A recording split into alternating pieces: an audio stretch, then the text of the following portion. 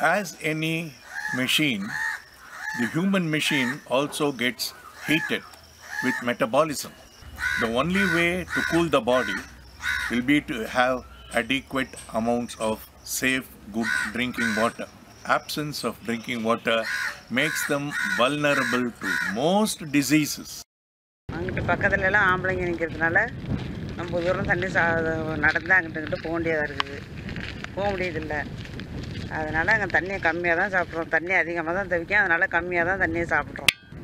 லெட்டின் இல்லாததுனால தான் எங்களுக்கு சிரமமாக இருக்குது குளத்தெல்லாம் வேலை பார்க்குறங்க வெயில் நின்று வேலை பார்க்குறங்க தண்ணி அதிகமாக தாவிக்கும். யூரின் போகிற வசதி இல்லாமல் தண்ணி கம்மியாக சாப்பிடுவோம். வேலை செய்கிற ஓனரும் சொல்லுவாங்க என்னங்கம்மா நீ போய் அங்கே கதவி தந்துட்டியா வரையா என்ன அங்கே போயிட்டு வர இங்கே போயிட்டு வர வம்பாங்க இது வந்து ஒரு லெட்டின் இல்லாத பெரும் பிரச்சனை.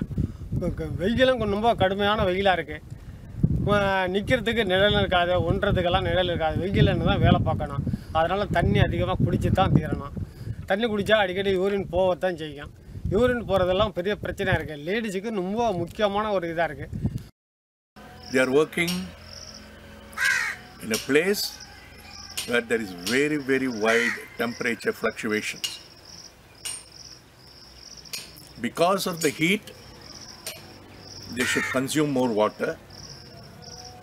But because there are not urinals nearby, they restrict their drinking of water, which makes them very badly dehydrated. So, health basically for the salt workers revolves around the drinking water and the excreting water.